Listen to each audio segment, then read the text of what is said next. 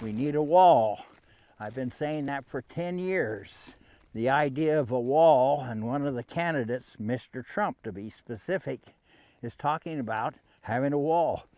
I really admire him for having the insight and the knowledge to know what's wrong with the current uh, Border Patrol system. It's a humanitarian issue. It's an issue where 2,269 people have died uh, on my ranch.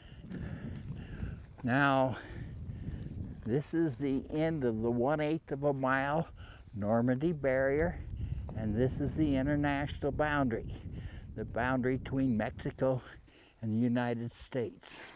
And this fence, just like this, goes for 25 miles. I'm in Mexico, and this is the international boundary. And I'm about to crawl back into the United States, and uh, I have a passport, so I can do it legally.